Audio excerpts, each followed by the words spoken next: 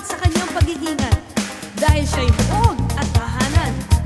Ang pangako niya, guguho ang mga bundok at ang mga burol, ngunit hindi maglalaw ang pag-ibig niya sa atin. Magbalan po tayo! Amen!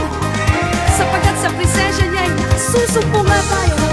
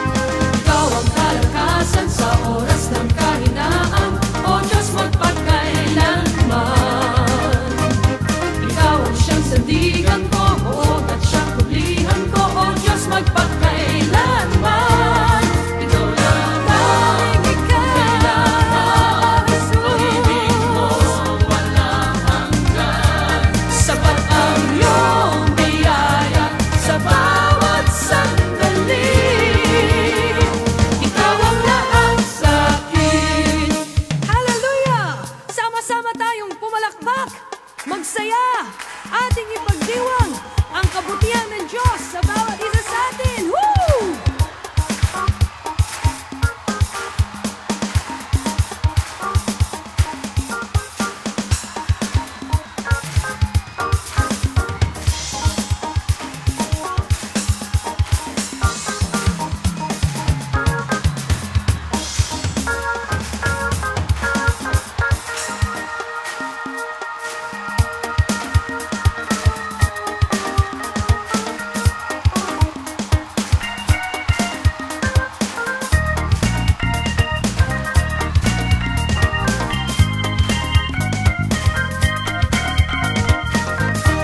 pangako kami ilalapit, O Diyos.